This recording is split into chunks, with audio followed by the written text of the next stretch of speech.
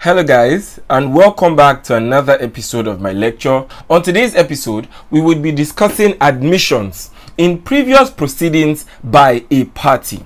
Now, in my previous episode, I discussed admission in relation to conduct, admission in relation to silence, whether or not silence will amount to admission, and whether or not conduct will amount to admissions. After I told you that there are, um, you know, two types of admissions, yet we have about four to five ways by which, you know, you can admit to a fact.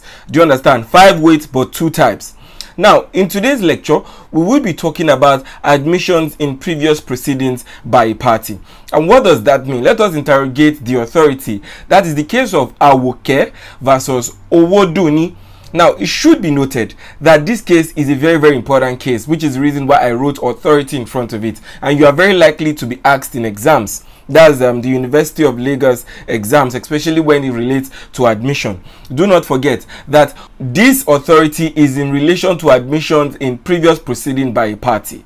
Now, in this case, that is the case of Awoke versus Owodunni, the court held that an admission made by a party in a survey plan made before the case or used in previous proceedings involving such party will consequently be regarded as an admission against the interest and can be relied upon by the other party in proof of the case.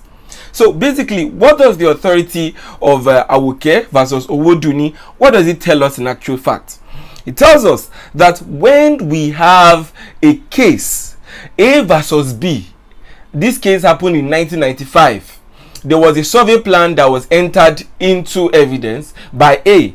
A tendered a survey plan in evidence and then B, you know, could not do anything, he couldn't object, he couldn't do anything. So while A was able to tender that survey plan in evidence in our hypothetical 1995 case. Now let us imagine that 20 years down the line, in 2015, there was a case against A versus Z now, Z wants to rely upon that particular survey plan that A tendered in 1995. And A now wants to say, no, that survey plan cannot be an admission. Do you understand? Because what A is saying now is different from what A was trying to say when he tendered that survey plan in evidence. Now, Z in this 2015 case is saying, but my lord, what A is saying now wasn't what A said in 1995. A said this, and let me even show you as a form of admission that the position of A on this matter is that that is that that he said in 1995, and not this what he's currently saying in 2015. Do you understand? So, if the length of the house was 20,000 acres, that was what the survey plan said in 1995. A is now saying that no, it is 1 million acre it is not what was written in that particular survey plan. What the court would hold based on the authority of Awoke versus Owoduni would be that since there have been a previous proceeding where A has admitted to a particular thing, that is in 1995, in this 2015 case, A would have no choice but to be silenced based on his admission in the 1995 case.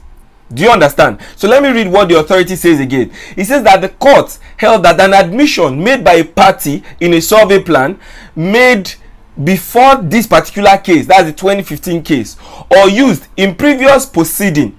So we are trying to let you know that where the admission is made, even though it is wasn't in the previous proceeding, but the admission has been made before the proceeding starts, then you can literally bring that admission into the court and tender it into evidence.